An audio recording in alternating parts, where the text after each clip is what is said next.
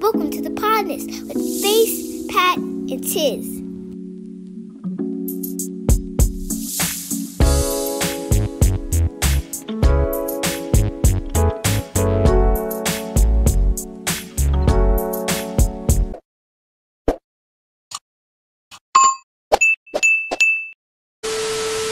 I get in belligerent and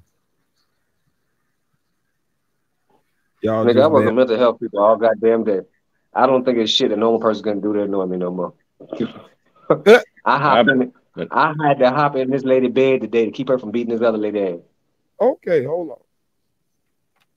Yeah, I had to go sit right on the bed and hold her on the bed like, come, come on, lady, come, come on. No, it, it, it's all right. Let Op- this shit go. Let this shit go. Yeah, she was in the bed, and you know how you know how nigga piss you off, and you waking up, and you sitting up out the bed, and you getting up, and you like nigga, what the fuck? I had to I had to get in it, get on this lady bed, and hold her on the bed. Come on, lady, come on now, no, no. I may be tainted by like the Me Too movement or something, but I just imagine that being a big Weinstein moment where you, I just in my head, I just see you riding this lady like, "Come on, calm down," and then somebody coming in the room like, "Hey, no, oh, they would have looked like, hey, hey, no, she was. No, hey, hey, no, no, Oh no. You Mm-mm. understand? Mm-mm. If you knew, if you knew, if you knew this lady, they would they would applaud me because if this motherfucker got up, it was gonna take at least ten motherfuckers to get her back down.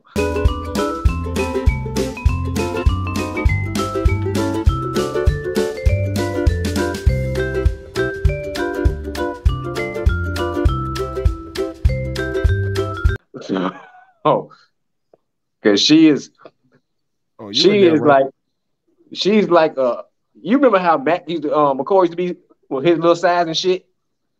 oh, little, little cannonball. She she like a a, a five foot eight version of that. Oh no, Yeah, so I had to get her before she got to her feet. No, who wants to see Cause that? I won't go I won't go take her by myself when she got to her feet. So like I got to get you off balance right now before you can Let get it- to your feet on the bed. But any momentum, mm-hmm. that's unstoppable. Yes. Yeah. Yeah, And the lady she was going at, I can say the lady she was going at, she had to reach, but she ain't had no. If, if the one I was trying to hold got to moving, she wouldn't have had no chance in that reach. I'm sorry. oh hell no.